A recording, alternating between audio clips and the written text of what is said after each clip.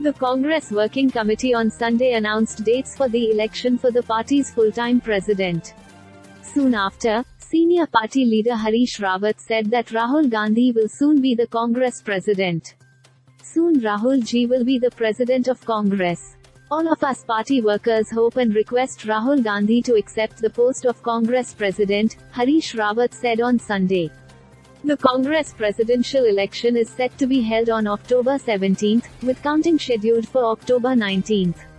Rahul Gandhi had resigned as Congress president after the party suffered its second consecutive defeat in parliamentary elections in 2019.